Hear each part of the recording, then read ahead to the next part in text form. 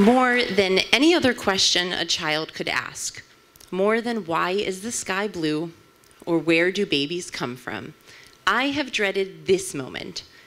And yet, here we are, on our way to a bounce house birthday party, discussing Disney movies, when my five year old daughter Emily pipes up from the back seat and asks, How did your mom die?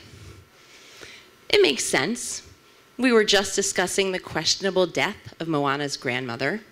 And when you're five, you know a couple of things about death. You die when you're old, you die when you're sick. Sometimes you die when you're old and you're sick. I hadn't pictured the moment like this, though. I'm fumbling with my GPS. I'm trying to find a warehouse full of inflatables. I can't call my husband or my sister to shore up my story. So I'm just going to have to ask her or tell her. And in telling her, I'm worried that I'm just going to ruin her life because the explanation of my own mother's death defies all of the things that she understands about death itself. But I don't have much of a choice.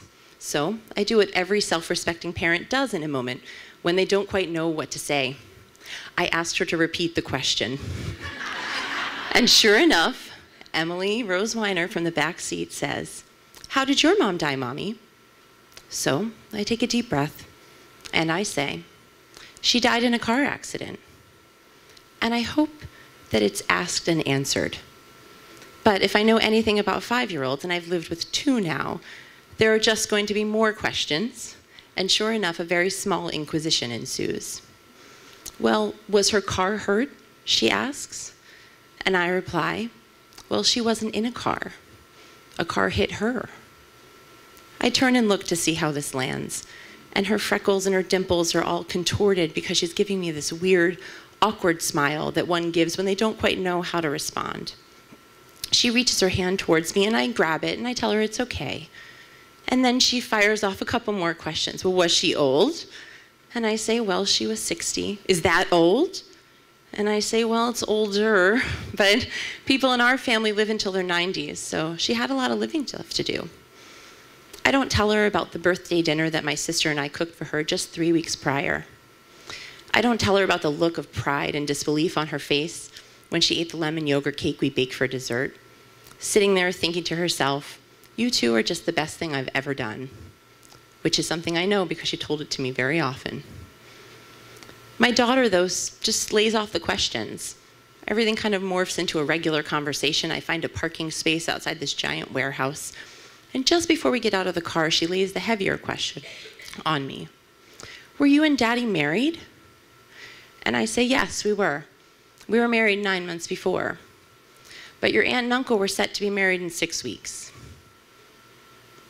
And then she says, Okay. We get out of the car. I don't tell her at all about the look of pride and disbelief on my face as I host the bridal shower that my mother couldn't attend, even though her name was on the invitation. And I don't tell her about the look of pride and disbelief when I walked my own sister down the aisle.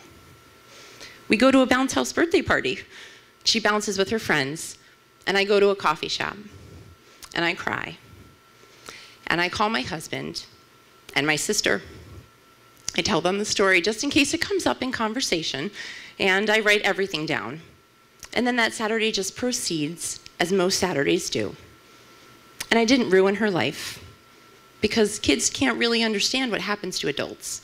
She doesn't know that in telling her, I'm breaking every promise I've ever made to protect her as a parent. And instead, what she sees is a grown up living through a really devastating time. A one in a million thing happening to her own mom, and somehow she came out on the other side. And I know I didn't ruin her life, because that conversation was a couple of years ago. And most recently, we were together at synagogue. She was sitting across the room from me and observed me standing and reciting a, a memorial prayer from my mother, the same way I do every time we're at synagogue. And she caught my eye and she mouthed, Who for? Just to confirm, she's seen me done this before, sometimes the only, sometimes the youngest. And I said, My mom, always. And she smiled, and her dimples and her freckles were just strong and confident. And she gave me two thumbs up. And all I thought was, we're all going to be all right. Thank you.